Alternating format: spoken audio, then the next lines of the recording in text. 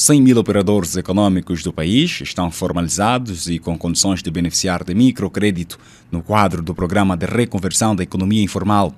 A informação foi fornecida pelo Ministro da Economia e Planeamento, Mário Augusto Caetano João,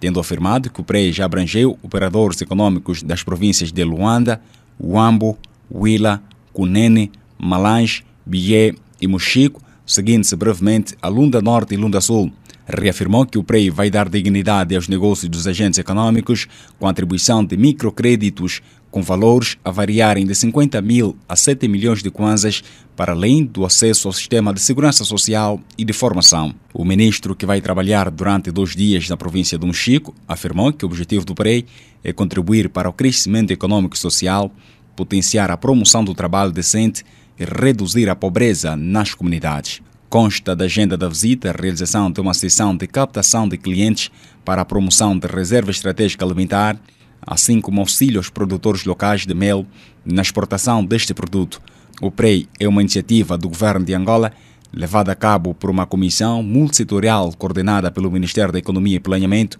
com apoio orçamental da União Europeia e assistência técnica do Programa das Nações Unidas para o Desenvolvimento.